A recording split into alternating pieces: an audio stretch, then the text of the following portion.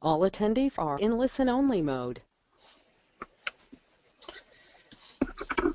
Greetings. My name is Stuart Sutton.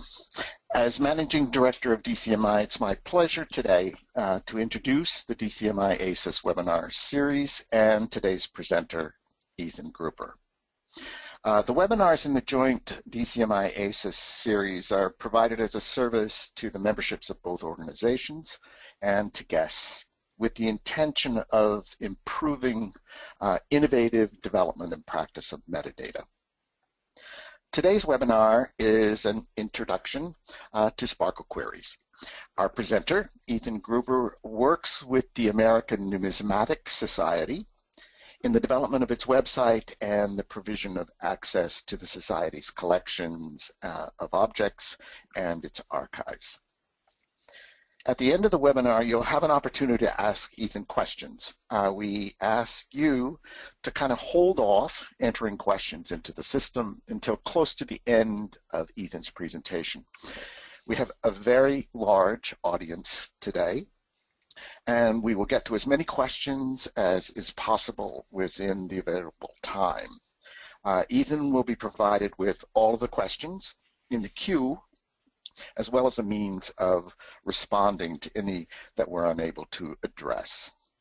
So with that, I'll turn the podium over to Ethan.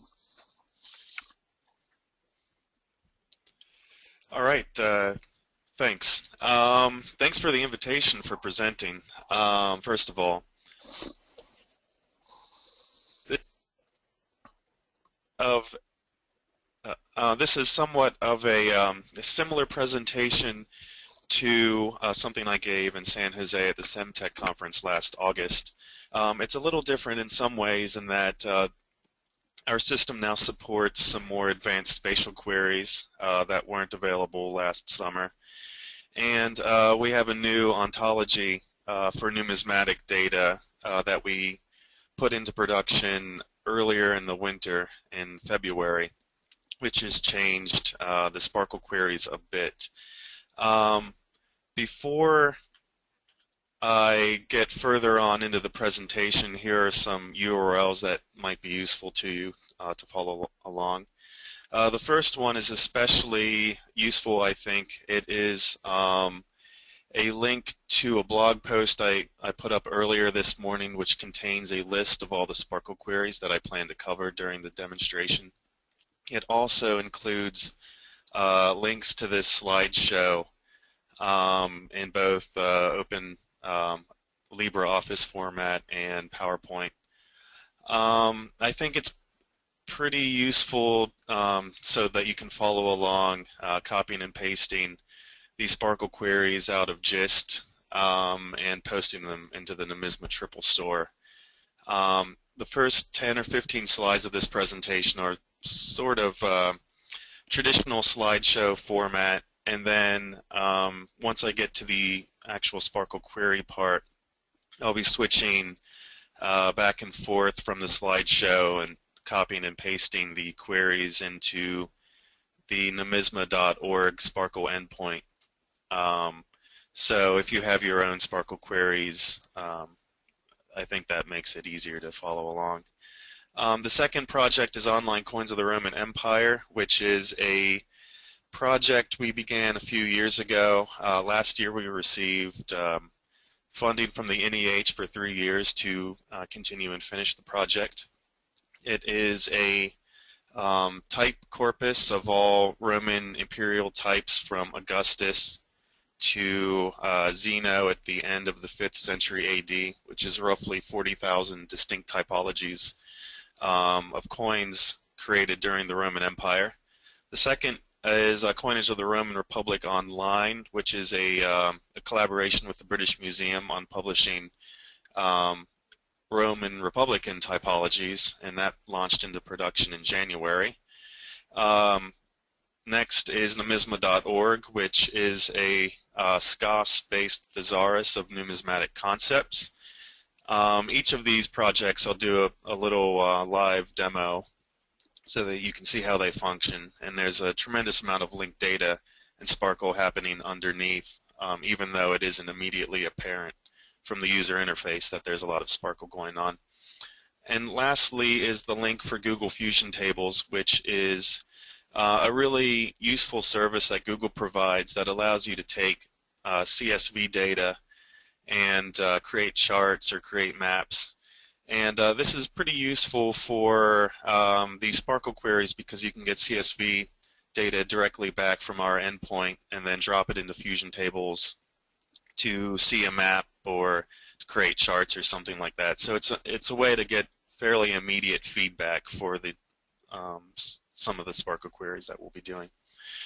So first, um, the problems in numismatics are not totally unlike uh, uh, problems that we see elsewhere in cultural heritage, where um, there may be many different labels for a concept. So regardless of the language, um, the fundamental idea is the same. So there's denarius and denier in French, and um, not quite sure of the Greek pronunciation, but that's Greek. But these are all labels for the same concept of a Roman denarius, which is the most common silver uh, denomination minted uh, for about 500 years between the Republic and the Empire. And um, and so following the principles of linked open data, each of these distinct numismatic concepts has been given a URI. Um, and that URI is unique. And you can go there in a browser and you can see information about Denarius, or you can get machine readable data about that concept as well. And so we can express a Denarius as a set of triples. And I know many of you in the presentation perhaps um, already are familiar with these concepts, but I think it helps to cover it at least briefly before delving uh, into the SPARQL demonstration itself.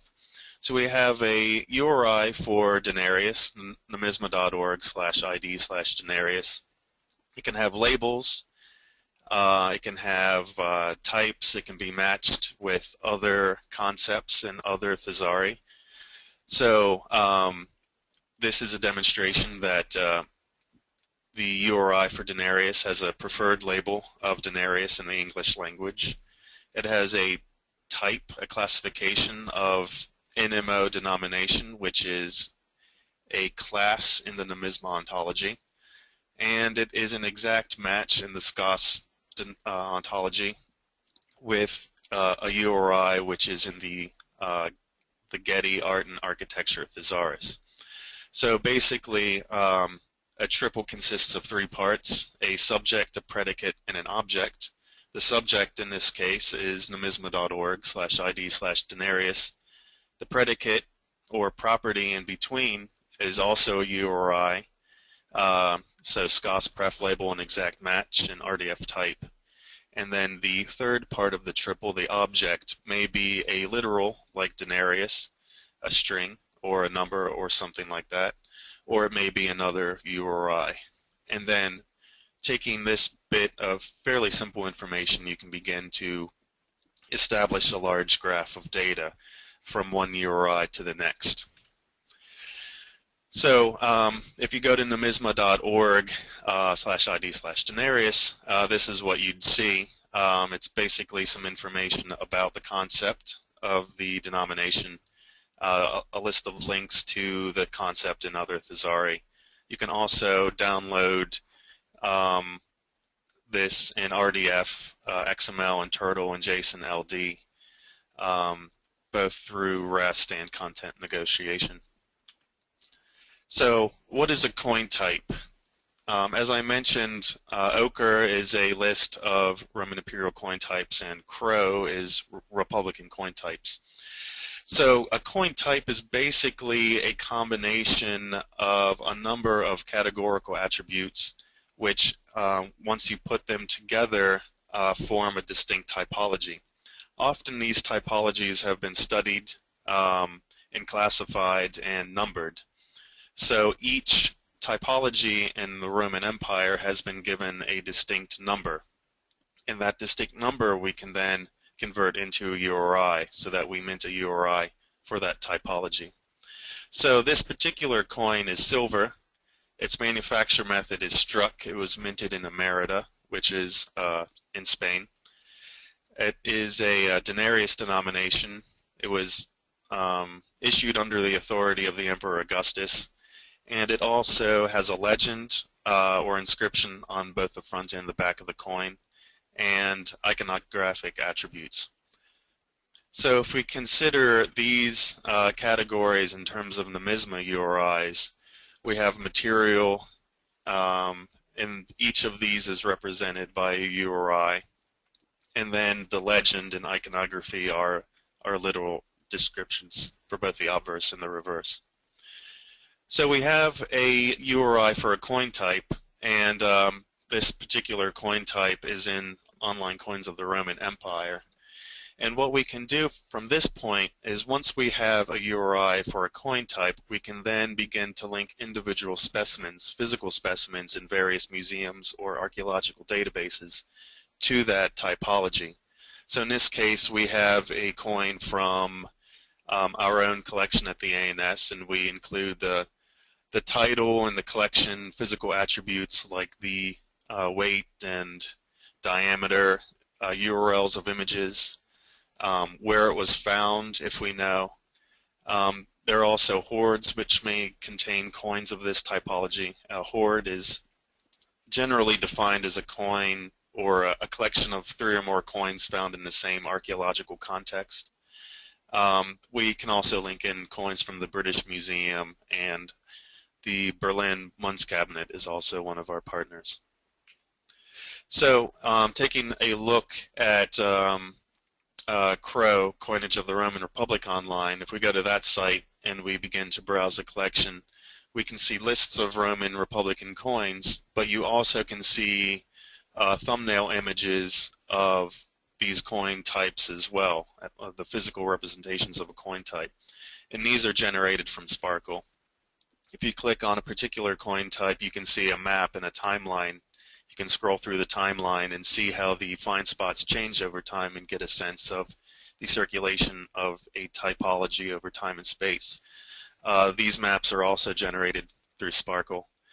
Then you can get a list of examples of of each coin type uh, with the weight and diameter and, and other sorts of attributes like that which are associated at the coin level. And uh, this is also generated from SPARQL. Uh, the same with weight analysis, uh, comparing the average weight of a coin type with the average weight of some other related attribute. Um, those are um, generated from SPARQL as well. And so in this presentation, I'll go through many of these different types of SPARQL queries that build these, um, that we can use to build these visualizations. But um, yeah, so we'll, I'll show some of these examples soon. So basically, uh, what I plan to introduce in this presentation, and I certainly can't get through the entirety of SPARQL because it's quite uh, quite dense, but the idea is to start fairly uh, simply and then build in complexity um, slightly until the end of the presentation.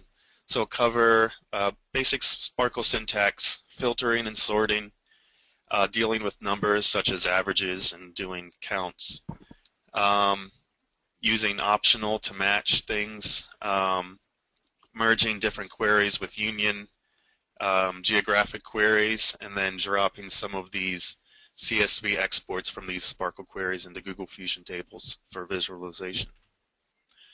So um, if you go to nomisma.org slash sparql, uh, this is what you'll see. And this is a SPARQL query, a SPARQL query, the most basic that you can have, where you have a, uh, a list of prefixes, which are basically abbreviations that stand in for a full URI. And these are the various ontologies uh, that we might use uh, within the SPARQL endpoint. Um, and then below that we have select asterisk where uh, S for subject, P for predicate, and O for object, uh, these variables, um, and then limit this to 100 results. So basically, it's doing the most generic sort of query that you can do um, of an endpoint, where it just simply looks in, um, just gets um, a bunch of subjects, predicates, and objects and displays them in the screen. Um, and at this point, I'll switch over into uh, into the browser to give you a basic overview of, of Nomisma. So nomisma.org is a uh, an international collaborative project that's been around for four years now, and it has evolved considerably in terms of architecture and um, and data models over time.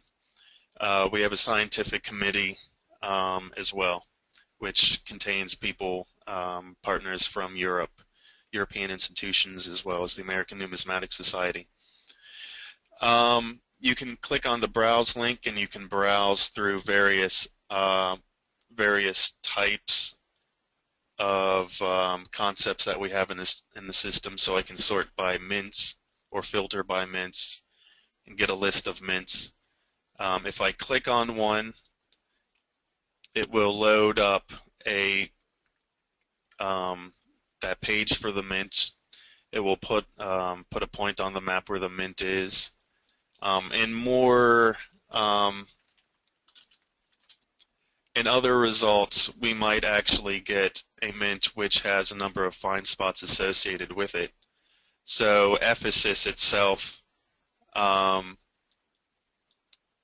is here somewhere, and um, and these red points represent all of the places uh, all of the coin hoards basically that we have records of that have that contained coins that were minted in Ephesus.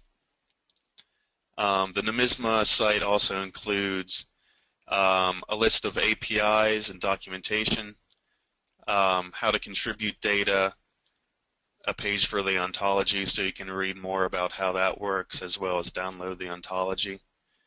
Um, the SPARQL endpoint, of course, and a list of data sets, uh, which is a new feature. So you can download individual data sets have been, that have been contributed into OCRE or into Nomisma to power OCRE and CRRO and other projects like that.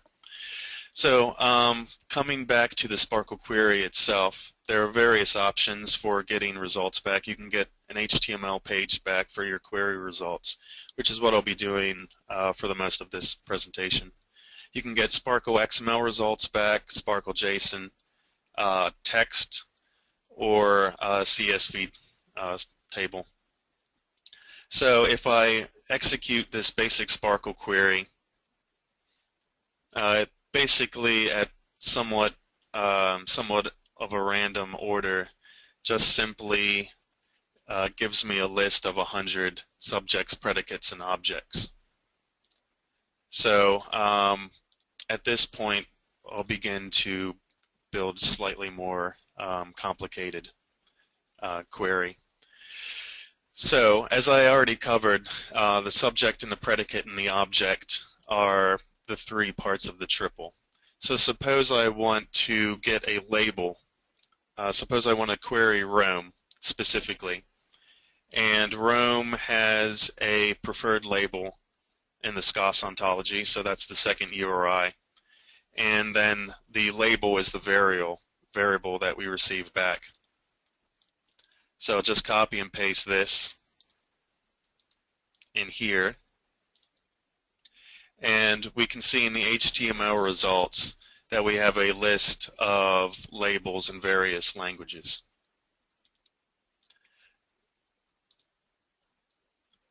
Now to simplify this somewhat, um, and this is the page for Rome. To simplify this somewhat, a prefix stands in for a full URI. So the prefix of SKOS, um, a SKOS colon can represent um, this URI contained in brackets to the right, and the prefix of nm colon can stand in for nomisma.org slash id slash. So instead of having a fairly difficult to read SPARQL query, um, we can begin to replace those with prefixes. Uh, makes it a little bit easier to, to read and manipulate. So I'll simply copy this and paste it back in. It's uh, essentially the same exact query, but looks slightly different. So we just get a list of labels back from from the uh, from the endpoint. next, we want to increase the query complexity a bit. So we still want to query Rome specifically, and we want to get the labels.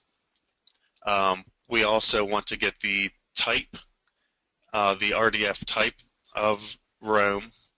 Um, we want to get um, its field of numismatics, which is DC terms is part of. So that's a uh, basically a categorical distinction. And we also want to get um, the location of Rome. If we consider uh, Rome to be a concept of a mint, but this concept of a mint also has a physical location on Earth, uh, represented by a spatial thing in the geo-ontology. We can also get the latitude and longitude back for Rome.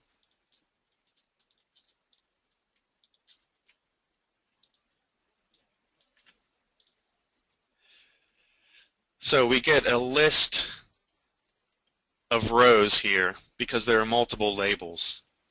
And so it will also show us um, a large list of things. There are also multiple types because it is both a concept in the SKOS ontology and a mint in the nomisma ontology. So we can refine this somewhat by using filter,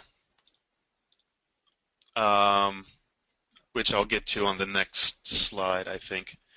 Um, but there's a simpler way of representing uh, this query um, by replacing uh, nm Rome with a um, um, when you group uh, multiple lines together, you can use a semicolon.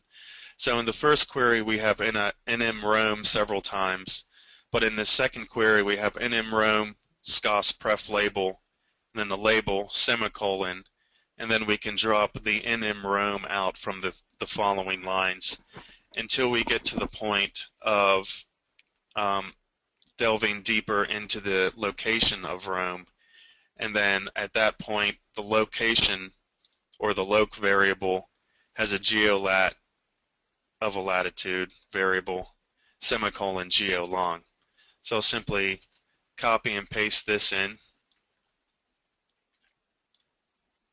and as you can see the results are exactly the same. It's just an alternative and simpler way of representing the same query. All right, so in this case, we want to get the labels for Rome, but we want to order them alphabetically. And in doing so, um, we, we ask for the SKOS pref label of NM Rome, and then using order by ASC for ascending, um, you can cast the label as a string and order it in ascending order. Uh, you can also replace DE or ASC with DESC if you want for descending order. So copy that, paste that in, and now we get these in alphabetical order um, until you get to the point, I think, where uh, it doesn't know how to handle other Unicode blocks.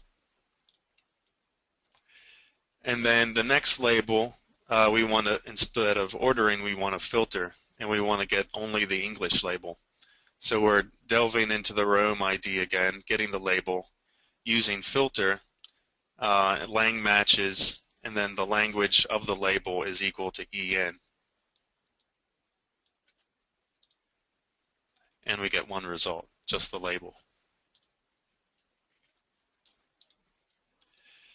Next, we can broaden our query a bit um, instead of querying properties and objects directly within the Rome ID itself, we can make the subject itself a variable. And then that allows us to get larger lists of things. So in this query, we want to select all the mints, um, a variable basically of anything that is the RDF type of an NMO mint uh, in the nomisma ontology. This should give us several thousand hits.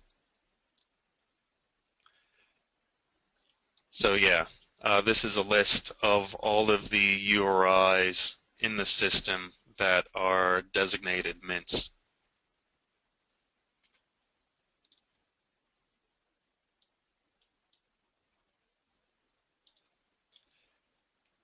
Next, we want to take this one level further. And instead of just getting a list of mints, we want to put uh, further queries on this. We want to get Greek mints. And not only do we want to get Greek mints, we want to get their latitude and longitude. And get the label of the mint in English. So, um, we're getting the mints, anything that's designated as a mint in the nomisma ontology, like the previous query. We're getting the SKOS pref label.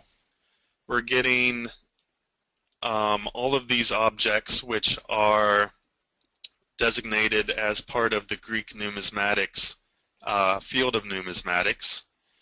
Um, we're getting all those mints which have a, a geolocation um, and then we're delving into that location and getting both the latitude and the longitude and as a result we're only filtering for English labels.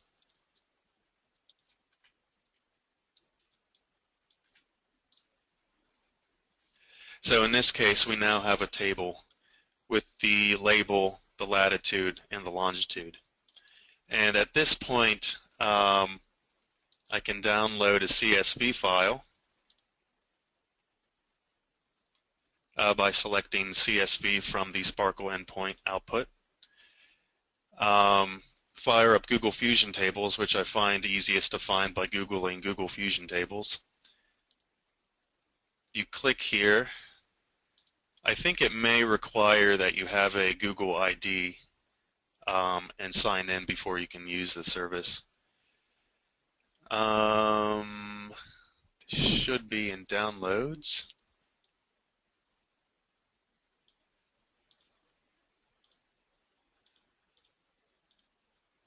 There it is. So I've I'm uploading the CSV that I just got from the SPARQL endpoint into Google Fusion Tables.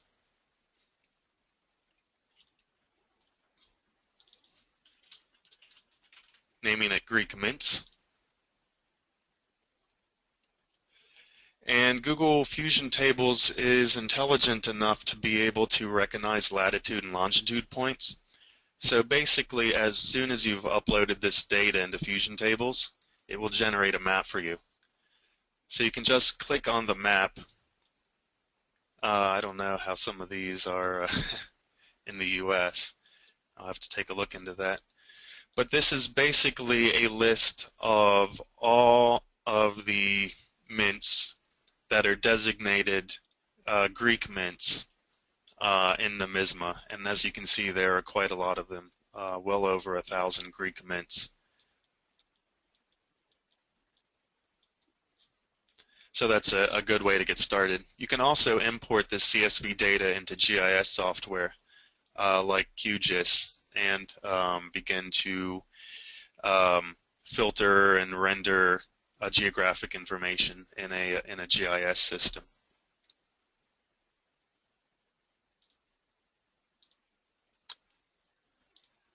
So next, uh, we are going to add a little bit of complexity. Um, we're going to begin doing analyses and queries on coin types uh, specifically. Um, in this case, we can uh, begin to do queries on coins related to Michael Crawford's uh, Roman Republican coinage type defined by the number 273/1 which is published in CRRO at the URI uh, in this bubble. So, uh, in this case, we have a new prefix we want to use for shorthand for um, URIs or IDs in the CRRO namespace. Um, so I'll paste that into the SPARQL query as I, as I go along. So in this query, we want to get um, all of the objects um, which have a um, a type series item of this ID uh, 273.1. Um, type series item or has type series item is the property we use in the nomisma ontology to link a physical coin to its typology, which is also defined as a URI.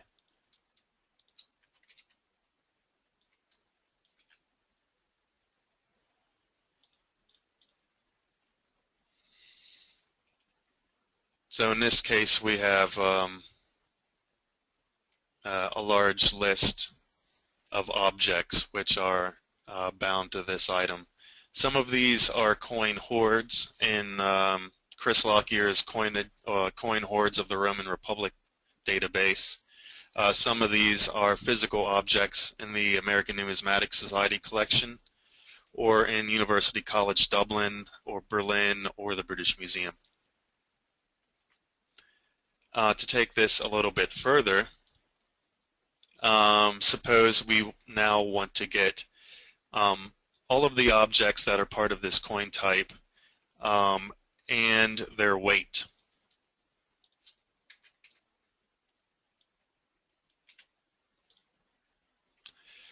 So this is a list of objects that we have and their weight as well, which is a decimal number.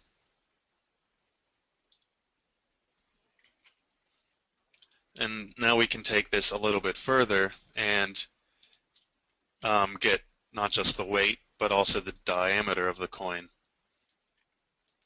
And you can see um, from this list, we've gone from several dozen coins perhaps to only two coins.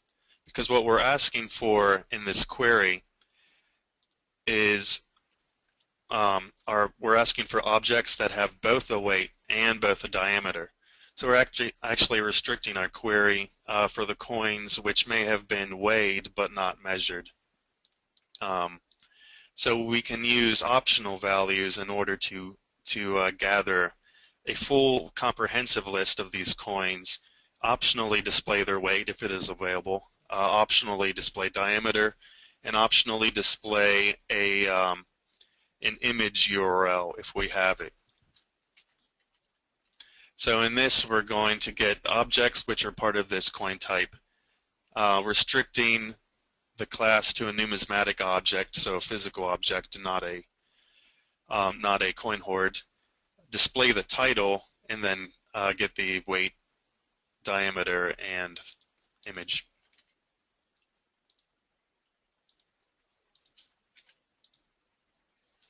So now we have a, a more comprehensive list of all of the physical objects associated with this particular coin type.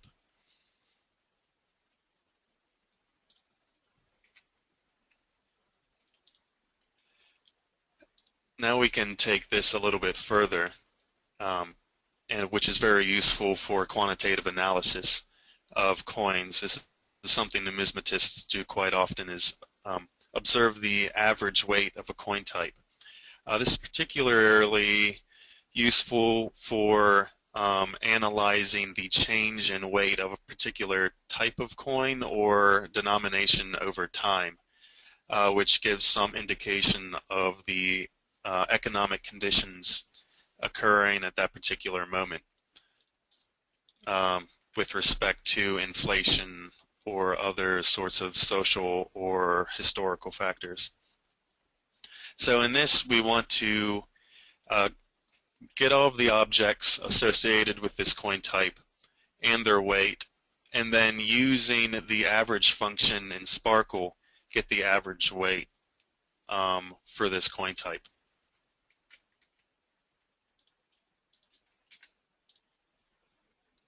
So the average weight of this coin type uh, taken from, say, 20 coins or so that we have in the system is about 3.83 grams. Um, if you take a look at these analyses over time and space, you can um, extend that somewhat to um, to do queries such as um, like uh, what is the average weight of a denarius every five years over a period of 250 years. And in the Roman Empire, this is especially useful uh, because you can see the weights dip down, especially by the mid-third century AD, um, during a period called the crisis of the third century, when there's just a tremendous amount of inflation uh, and devaluation of coins. Um, as the silver content decreases over time and the cores of the coins are uh, less valuable materials, which are lighter in weight.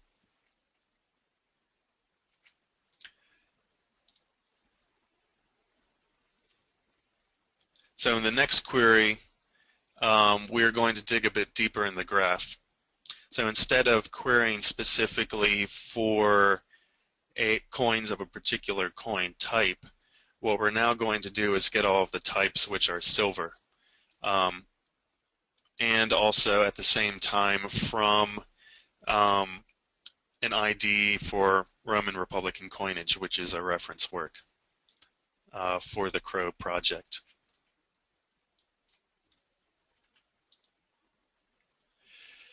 So this query uh, just basically generates a list of all of the silver coin Roman Republican coin types. And we can take this a bit further where we want to get all of the silver coin types and then get all of the objects that uh, are associated with those types.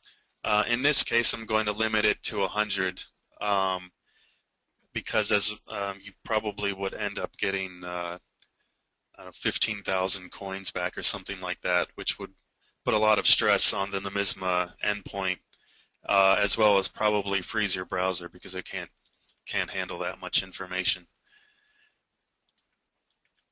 So this is a, a limit of 100, uh, 100 physical coins that we have, which are associated with uh, silver coin types. It should be noted that um, none of these objects are explicitly designated as silver. The silver distinction or the denomination or any of the other categorical attributes are extracted through um, um, through inference uh, from the parent coin type itself.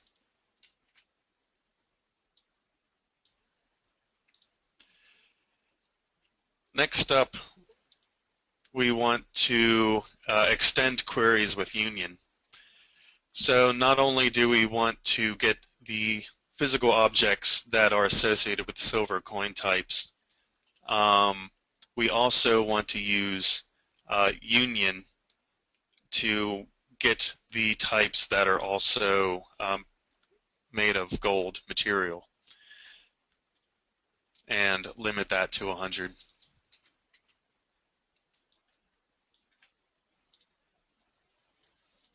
So we have, once again, a list of 100 coins which are either silver or gold.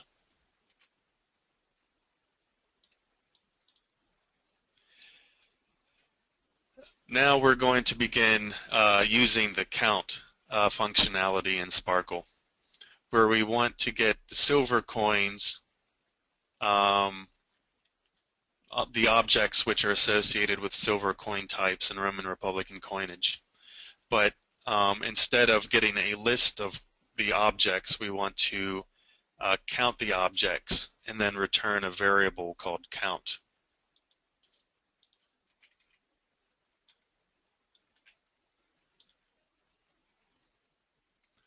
So um, as you can see, there are 16,299 uh, coins from several different collections.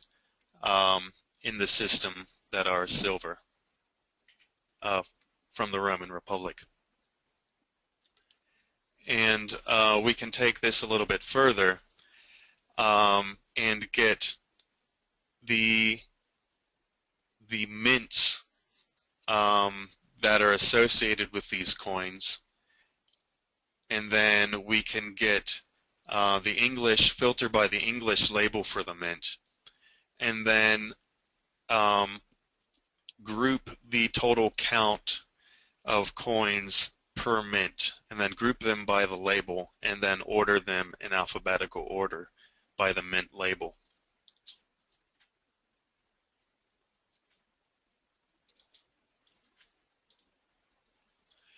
So now we have a list, uh, a table uh, with all of the um, mints that were in use during the Roman Republic and the number of coins minted at those at those locations. Um, unsurprisingly, Rome is the the dominant uh, mint during the Republic. Um, and of course, these are not all Republican coins. coin types, but um, silver. So what I can do, in fact, um, from this table, since we have a list of labels and numbers, we can begin, we can uh, download this as well, create a new Google Fusion table, upload this new CSV that I downloaded into Google Fusion tables.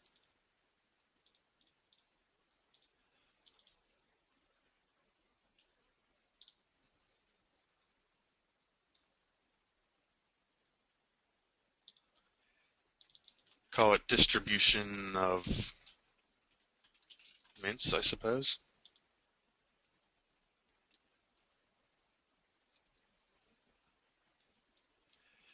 So we have labels and numbers, and once you have something like that, you can generate a chart. So I will click on the plus, add a bar chart, um, um, increase the maximum categories,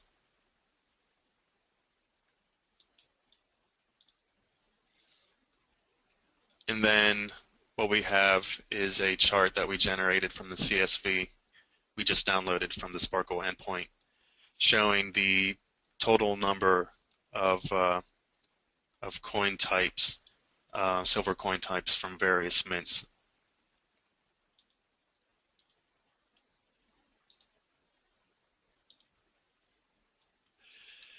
Next, uh, we can do a lot more with geography, and this query is starting to get a bit um, on the, the complicated side in terms of using uh, union in order to merge uh, different types of queries together into a single result. So what we're doing with this query is we're getting um, all of these silver coins uh, that are from Roman imperial coinage uh, reference work. So we're switching gears to imperial coinage now from Roman Republican coinage. So we're getting all of the physical objects that are from silver imperial types and their find spots.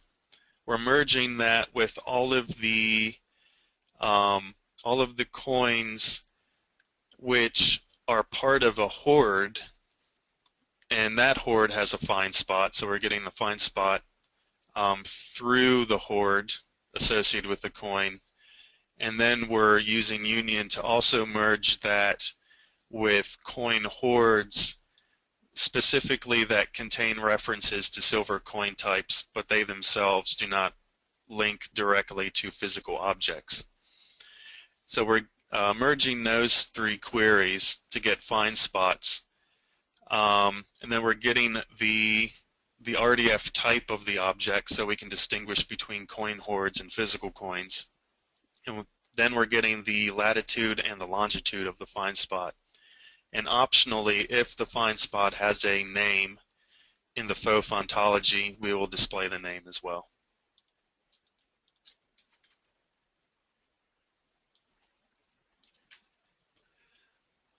So paste that in. And now we have a list um, mostly consisting of coin hoards, which contain silver imperial coins. But there are a handful of physical objects here as well from the University of Virginia collection, which are um, linked to coin hoards defined on nomisma.org. So we're using uh, semantic reasoning to to go through the graph and then extract coins which are associated with other URIs in the system which are defined as hoards. So this is a list of all of the unique hoards or coins associated with the query. Now if we want to refine this slightly, um, instead of getting a list of all of the hoards and coins, we just want to get a list of all of the distinct find spots we can select the distinct find spots with the latitude and the longitude and the optional name. The rest of the query is completely identical, but the variables we're asking for in return are slightly different.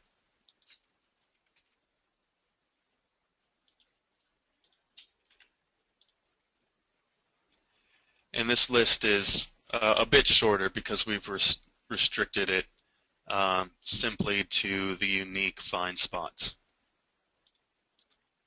We can also get this as CSV.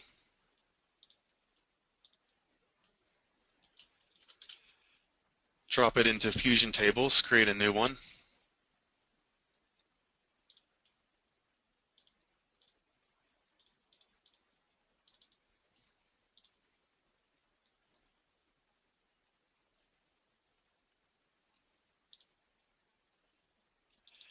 Call this the uh, find spots for silver coinage.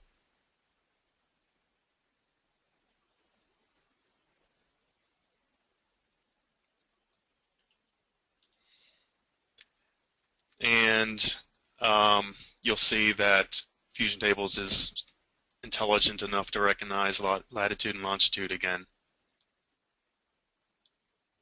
And so we can generate a map um, of all of the find spots that we currently have in the system uh, for silver coinage. Um, there's one up here um, in Colchester, England. Um, this is the single find spot that we have associated with um, nearly 300 collection, uh, 300 coins in the University of Virginia Museum that are all linked to um, a coin defined on the, or a coin hoard defined on nomisma.org. the rest of these objects, these points on the map, are find spots associated with uh, uh, the coin hoards of the Roman Republic database.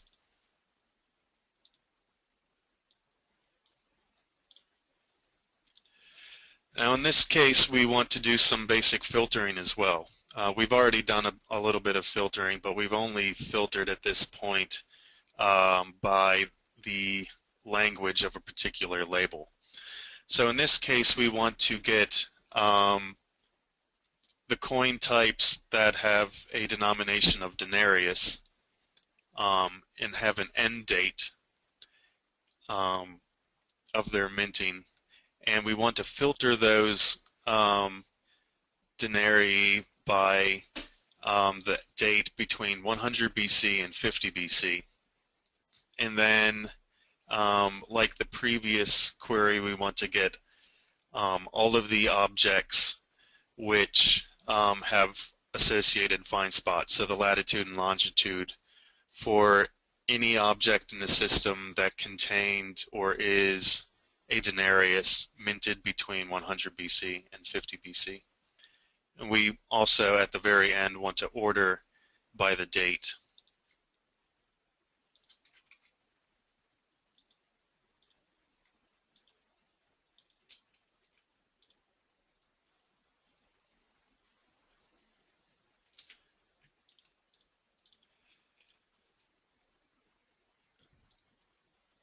So in this case, we have a, a table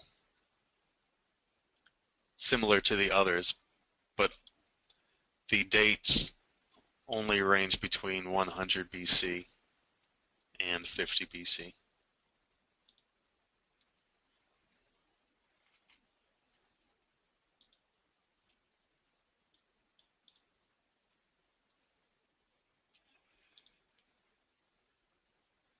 So this, uh, like the last one, um, Actually, this seems to be exactly... Yeah, I guess I must have duplicated a slide. Skip that. Um, and then we're getting towards the, the end of the presentation here, but the next um, second to last query is filtering by regular expressions. So we've done filtering by date, uh, filtering by language, and now we're going to filter by um, any coin type which has a reverse description containing the word Jupiter, uh, which is a pretty good indication that Jupiter appears on the reverse of a coin.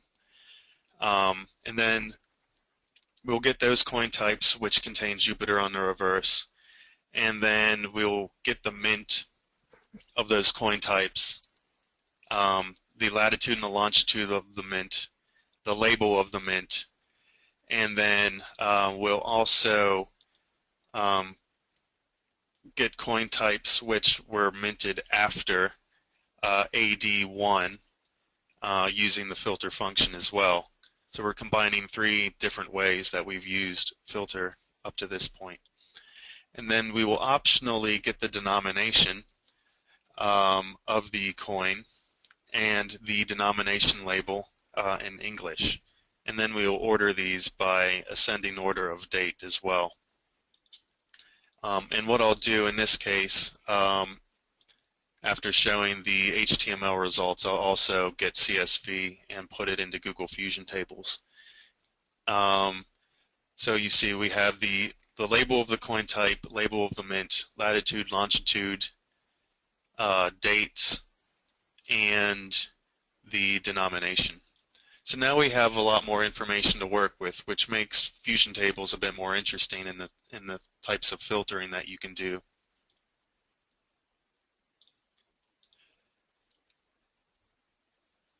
So create a new table.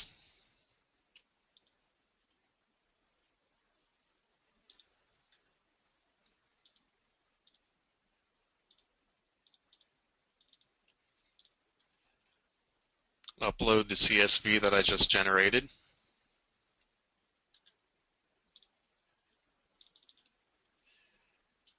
Call this the distribution of Jupiter.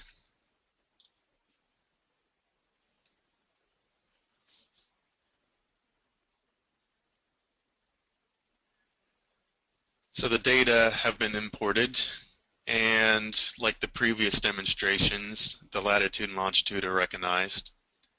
Um, I'll change the map style a little bit so that the uh, the points show up a little bit um, clearer. So we have um, these are all of the mints during the Roman Empire which produced coins with Jupiter on the reverse um, we can filter um, filter these um, results. Let's say, suppose we want to filter by denomination. So at the moment, we basically have a wide variety of denominations to choose from. Uh, let's see all of the Aureus coins, which is a gold coin. So we're filtering, so only three of the mints uh, produced um, gold coins with Jupiter. Uh, we can combine that uh, with uh, bronze coins, so basically the same mints. Uh, denarius, so we have um, you know a variety of of um, filters to choose from in terms of uh, visualiz visualizing the distribution of, of coins of Jupiter. Uh, what we can also do from this information is add a chart. Um, I'll create a, um, a bar chart and summarize the data in Google Fusion tables, uh, summarized by mint so that we can get a, uh, a numeric distribution of the coin types of Jupiter um, and where they were produced. So we have uh, a table now, um, and Rome overwhelmingly produced the largest number of coins uh, with Jupiter on on them.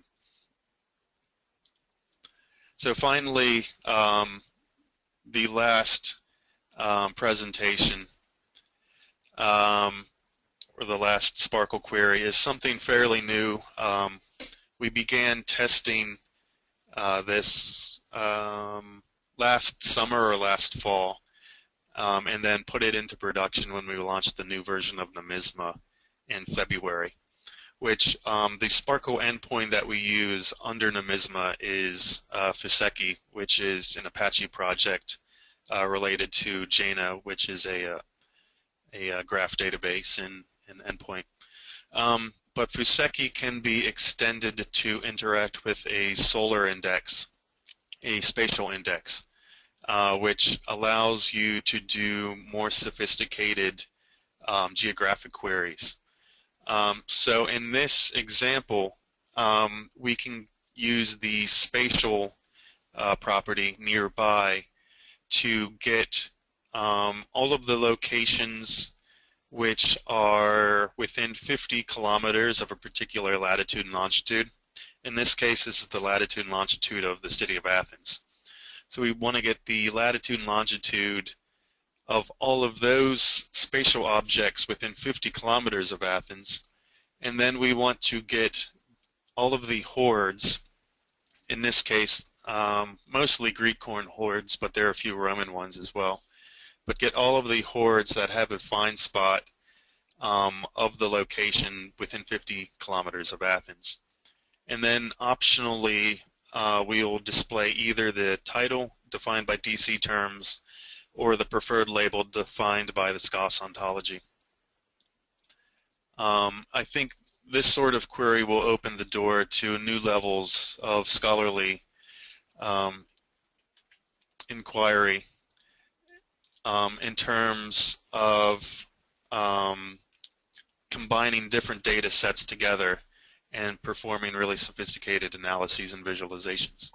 So we can see from this um, uh, from this result, we have a list of coin hoards um, found within 50 kilometers of the city of Athens. Um, I could throw it into Google Fusion tables to generate a map, but I think you've seen enough of the maps so far, so that would be a bit on the redundant side. But uh, back on the scholarly um, scholarly applications for these sorts of queries, uh, this would now allow us to build user interfaces where somebody could draw a bounding box on a map like uh, an OpenLayers map and get all of the uh, all of the spatial information within that bounding box. Um, it would allow us to import RDF data for Roman roads or um, RDF data for uh, the locations of temples or shrines or fountains or um, or springs or anything like that, and to be able to do, say, a, a query of all of the coins of Jupiter found within 100 meters of a temple of Jupiter, or find all of the coin hoards deposited within 50 meters of a Roman road. And then you can combine that with uh, different types of um, of um, analytical or um, temporal queries to say, you know, show me the coin hoards deposited 50 meters from a Roman road within a week before the the Roman military marches through, or something like that. So I think there's a tremendous amount of potential in these sorts of uh, spatial queries and linked data. And um, to conclude, um, thanks for your attention. Um, I know this is a fairly fairly dense subject, and I, I hope you've um, uh, learned a lot from it and can continue to learn from some of these SPARQL queries and just experiment with the system and uh, make changes to the queries that I've that I've provided through the um, the blog post and through GIST. And, and if you have any questions, feel free to uh, to email me or to find me on Twitter and ask me questions. So thanks a lot.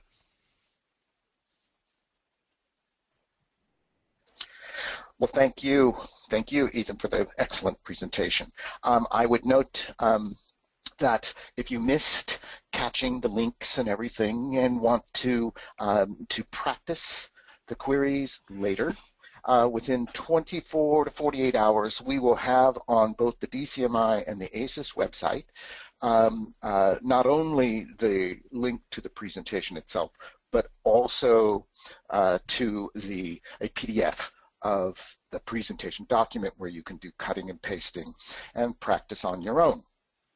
So it's time for a few questions. We have a few minutes. Um, let's start with one regarding regular expressions. So this is a regular expression function question. Um, what does the I, as in the character I, part mean in, here we go, question mark description, comma, literal Jupiter, comma, I. I've encountered the I before, but not understood. Oh, okay. Um, it means that it's case insensitive. So um, it will look for uh, Jupiter lowercase, Jupiter with the capital J, Jupiter all uppercase or whatever. So it's completely case insensitive. That's what the I means. Very good. Thank you. Another question. Does the speaker have any advice on how someone can learn more about a database they are unfamiliar with, like available values or parameters? Conversely, are there best practices for data providers for making that type of information available? Yeah, it's a good question. I mean, database is pretty open-ended. Um, are we talking about a SPARQL endpoint or or or not. Um, you can usually there are certain types of queries that you can perform on a SPARQL endpoint to get um, a list of um, ontologies that are used or properties that are used back. Um, and there's also some software, I uh, can't think of the name, that will basically submit queries to a SPARQL endpoint and then produce for you a human readable report um, of the endpoint. As for what was the second part of the question? Uh, the conversely, are there best practices for data providers for making the type of question, uh, uh, making the data providers for making that type of information available? Best Um, practices. Best practices. I um I don't know really. Um I guess probably the lowest barrier to entry would be to use properties in schema.org. Um, or if you have a number of objects that um, that have individual URIs and are accessible on the web, uh, to use RDFA, which is um, a, a, microdata format that you embed in the HTML that um, associates some semantic um, um semantic categorization to the types of information you're presenting in the HTML. Um, that's a really it's a really complicated question. I'm not sure that I can answer it um, yeah, okay. in the amount of time that I have, but I, I think you could ask that on maybe the um, the LODLAM list, uh, which is the linked open data for libraries, archives, and museums. I think you could get um, much more well thought out and uh, um, more useful answers through a list, I think. Thank you. Um, another question. Are you taking the approach of aggregating multiple sources of data together into one semantic database, or are you distributing a single query among multiple SPARQL endpoints? Um, there's one one SPARQL endpoint, so we're aggregating the data into the one endpoint. Um, I think it's more scalable that way um, and faster. I think if you have multiple endpoints, um, then it just increases the amount of time that it takes to get a result back, which negatively affects the user experience overall. Um, the reason that we're able to aggregate these data is there's a tremendous amount of collaboration uh, in the numismatic community on using concepts defined on nomisma and using the nomisma ontology. Um, so that makes the aggregation uh, a lot more feasible for our domain. Another question. What software are you using for your SPARQL database backend and SPARQL query frontend? The backend is Apache Fuseki, uh, which is open source and free. Um, the SPARQL endpoint on nomisma.org is basically just a user interface, a wrapper on top of Fuseki. Um, the entirety of Nomisma is um, basically done in Orbeon, which is at its core an XForms engine uh, workflow engine, but it does do a lot of the modern linked data platform types of things that we need to do uh, in the user interface. But the backend for Nomisma is XForms driven for editing concepts and publishing them into the endpoint and managing data. I have two questions that are actually closely related, so I'll see if I can combine them into one. Um, and you've already addressed some of this, but what are the components of the uh, Nomisma software stack, and how does the UI generate SPARQL queries based on user input? The um, so the stack for Nomisma is uh, Orbeon, which is the user interface and the XForms backend. Uh, there's Apache Solr, which is the browser interface. Um, there are two Solr indexes, one for the browser interface and the Atom feed, and the other is only for the spatial queries, um, which are associated through the SPARQL endpoint. Um, and Apache Fuseki is the endpoint. Uh, so there are three open source Java-based applications, um, two of which run in Tomcat, and then Fuseki runs separately as a service. Um, and in the user interfaces, um, we actually have XSLT doing some SPARQL queries um, or taking SPARQL results and converting them into KML or formats that drive charts and, and things like that. Uh, and then those things are rendered through open source JavaScript libraries like OpenLayers for the mapping and uh, other other things for charts or, or whatever. Chart libraries. Well, thank you very much. And I think at this point that we will end the webinar. So again, uh, Ethan, uh, thank you for um, uh, uh an excellent presentation of, of queries, SPARQL queries, and for providing excellent uh, examples of the queries in operation. So, uh, Stefan, do we have any other announcements that we need to make? Uh, the only announcement to be made is that the presentation and the the archived presentation and the PDF file of the slides will be made available within 48 hours of the live broadcast. And if you have any questions or comments, you can send them to the email address listed on the follow-up email with the slide archive and recorded presentation. Thank you. So thank you, uh, everyone who came today. It was a large number. Uh, there were over there were 500 people registered and nearly 260 that were present for for the webinar. So thank you very much, and good day uh, to all of you. Thanks a lot. All right. Have a good day, everyone.